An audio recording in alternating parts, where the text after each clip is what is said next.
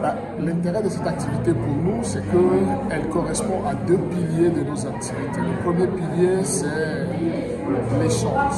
L'échange et la connexion. Le deuxième pilier, la connexion.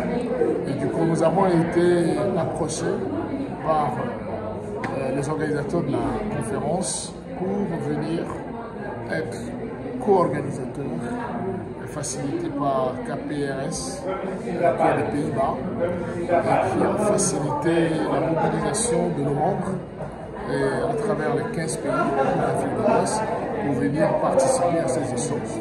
L'intérêt pour nous aussi, c'est que ça nous permet d'aborder des sujets qui portent sur la paix et la justice centrés sur les personnes.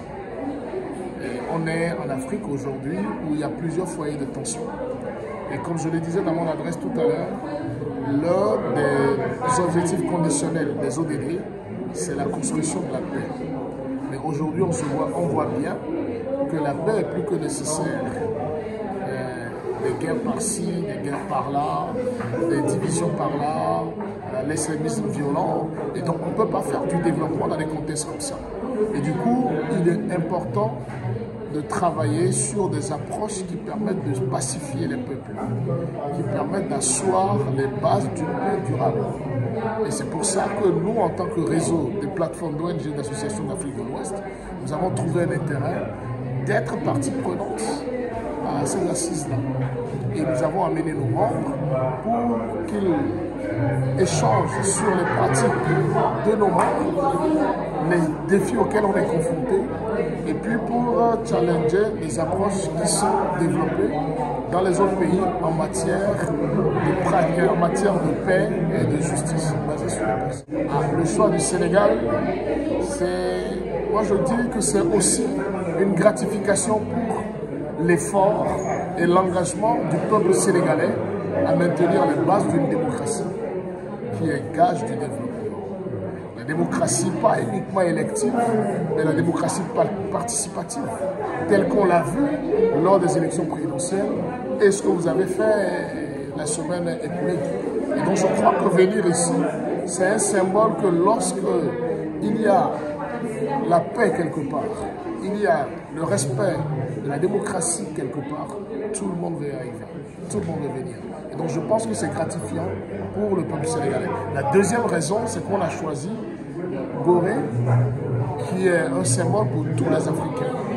Quand on parle des méfaits, du colonialisme, de l'esclavagisme, mais au-delà de ça, quand vous voyez dans la salle toutes les figures qui sont mises là-bas, il y a du travail de fait et en mémoire de tous ces investissements qui ont été faits, il était opportun de choisir le Sénégal pour venir montrer que malgré nos diversités, il y a des pays dans lesquels on peut se retrouver pour se connecter, pour parler de paix et de paix durable qui est gage du développement de notre continent et de notre monde. Le plaidoyer que nous lançons en tant qu'organisation de la société civile, c'est que pour construire un monde paisible, on doit, on doit vraiment avoir une approche inclusive, une approche sans aucune exclusion. Deuxièmement, on ne fait pas le développement pour les politiques, on fait le développement pour le peuple. Et on ne peut pas faire du développement sans associer le peuple ou sans écouter le peuple. Et donc le plaidoyer que nous lançons, c'est que les, nos gouvernants doivent mettre au centre de leur offre politique l'aspiration des peuples et tenir compte désir, du ressenti et de l'expression des peuples dans les choix qui sont faits en matière de gouvernance politique. Et ce qu'on voit aujourd'hui est décevant, pas uniquement en Afrique, mais essentiellement en Afrique. Les choix politiques qui sont faits ne sont pas de nature à offrir des solutions qui permettent au peuple de satisfaire leurs besoins. On fait des choix politiques qui permettent à une minorité de s'accaparer les ressources du pays, mais on ne fait pas des choix politiques qui contribuent au bien-être de nos peuples. Et en cela faisant, l'exemple du Sénégal par la suffisance que c'est au peuple qu'appartient le pouvoir, c'est au peuple qu'appartient le, le, dernier mot. Et donc, je crois, le plaidoyer, c'est que nos gouvernants doivent comprendre qu'il ne sert à rien de chercher à offrir, à faire des choix politiques qui ne contribuent pas au développement Tant qu'on ne tient pas compte des, besoins du peuple, les choix politiques et les offres politiques seront sans effet. Et c'est pour ça que notre plaidoyer en tant qu'organisation de la société civile, c'est que nos gouvernants écoutent les organisations de la société civile, les associent aux choix politiques qui sont faits, à l'évaluation de leur politique et à leur amélioration. Sinon, euh, ça va être difficile. Ça va être difficile de contribuer efficacement au bien-être de nos populations. Aujourd'hui, on parle plutôt des sociétés civiles. Avant qu'on parlait de sociétés civiles, on voyait les associations, les organisations de développement, les organisations humanitaires. Aujourd'hui, on voit des activistes, on voit des collectifs de médias, on voit des collectifs de jeunes, on voit des groupes thématiques, des groupes spécifiques qui naissent et qui font partie de cette société.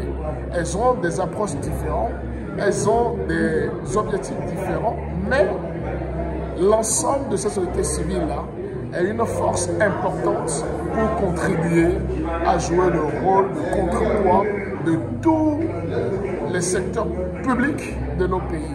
Sans cette société civile-là, il sera difficile d'avoir des politiques publiques qui satisfassent aux besoins des populations. Les critiques qu'on fait aux sociétés civiles, pour moi, c'est recevable. On a des sociétés civiles au sein desquelles on a des organisations bancales, des organisations qui sont peu professionnelles, des organisations qui font pas la reddition des comptes. Mais c'est comme dans le secteur public ou dans le secteur privé. Hein, les cas de corruption, les cas de malversation, les cas de gabégie, de détournement, ils sont aussi dans le secteur public. Ils sont aussi dans le secteur privé. Et donc, ces critiques ne sont pas liées à la société civile.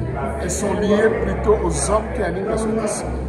Et c'est pareil. Donc, les dispositions à prendre au niveau de nos États pour lutter contre la corruption, pour lutter contre la gabégie, l'absence de reddition des comptes, tout ça, c'est des mesures qui vont concerner aussi bien le secteur public, le secteur associatif que le secteur privé. Et donc ces critiques, elles sont plutôt constructives pour nous. On les reçoit avec joie et on y travaille. Seulement, il faut que l'espace civique soit maintenu. Il ne faut pas chercher à user de la tyrannie pour empêcher les organisations de la société civile de s'exprimer. En cela faisant, on ne contribue pas à leur essor, on ne contribue pas à leur contribution efficace à l'amélioration des politiques publiques. D'accord. Merci. Merci beaucoup.